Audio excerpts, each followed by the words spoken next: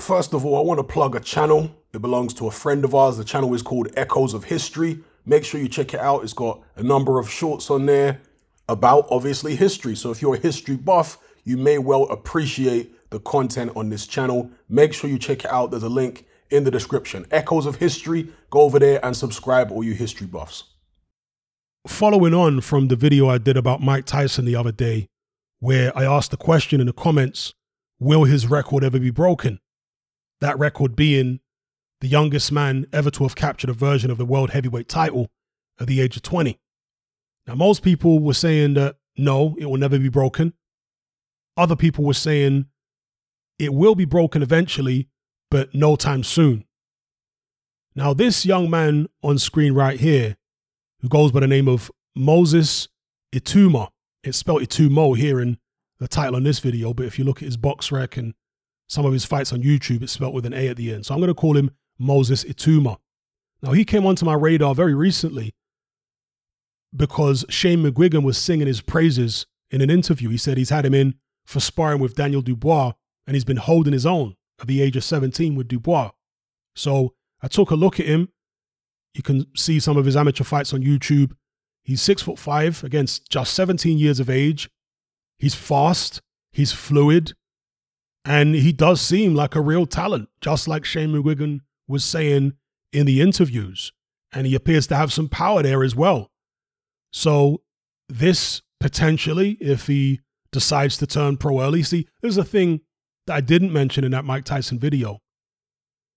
It was Cus D'Amato's intention for Tyson to be the youngest heavyweight champion in history. Of course, he guided Floyd Patterson to being the youngest heavyweight champion in history before Tyson. You see, so he made it the objective to get Tyson to the title as quickly as possible at his very, very young age. And he had him fighting an incredible number of times. Tyson, during his first year as a pro, for what was it, 20 times or something? It was something crazy. Or maybe it was a bit less than 15 times or something. But he fought an incredible amount of times in his first year as a pro and even in the second year.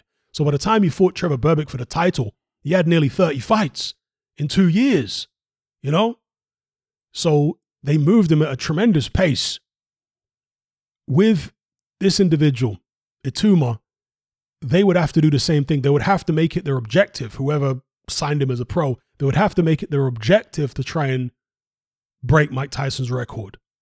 But based upon his talent and his potential and what he's shown at the age of 17, if he was moved in the right way and if they had the right opportunities, he's someone that could potentially at least challenge for Tyson's record or you know attempt to break Tyson's record. He's someone who could do it based upon what I've seen. So if you haven't seen him fight before, if this is the first time you've heard it, I'm sure some of you knew about him long before I did, right? But for those of you who didn't, you should definitely check him out. Go and have a look at his fights. To me, he looks very talented. and it's going to be very interesting to see what he can do in the seniors. Of course, at the age of 17, maybe he's going to wait for the next Olympic cycle because if he was to turn pro now, he's unlikely to get the kind of money that he would get if he can, let's say, win a gold medal at the Olympics or a silver medal. Then he would be offered a much more lucrative contract. And this is something I explained in that Mike Tyson video. This is one of the reasons that so many amateurs stay amateur for longer because not only can they secure a nice pro contract if they, you know, get enough medals or the right medals, but in the meantime, they're actually getting paid to be an amateur in a lot of cases. You know, they're getting money and sponsorships and endorsements and all this kind of thing. So, uh, yeah, just thought I'd give my take on this individual, Moses Itauma. Looks a very, very promising prospect.